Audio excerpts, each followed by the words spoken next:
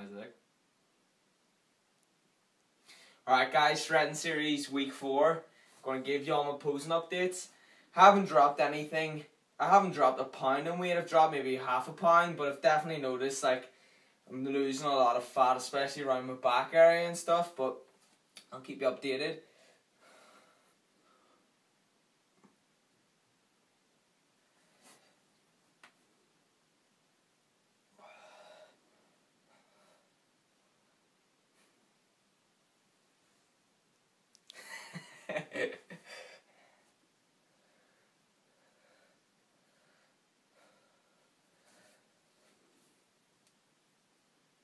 New workout videos coming.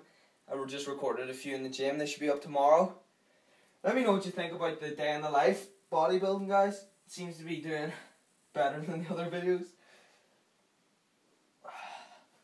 Back double bicep.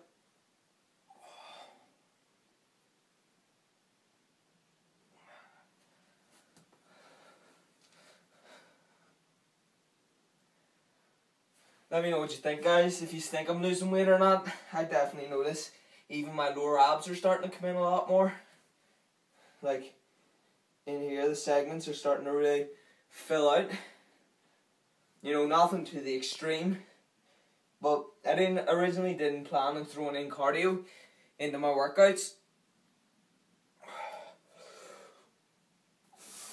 But I was thinking about shredding a wee bit faster, maybe throwing some cardio in, because you definitely don't need it. You just need to reduce your calories.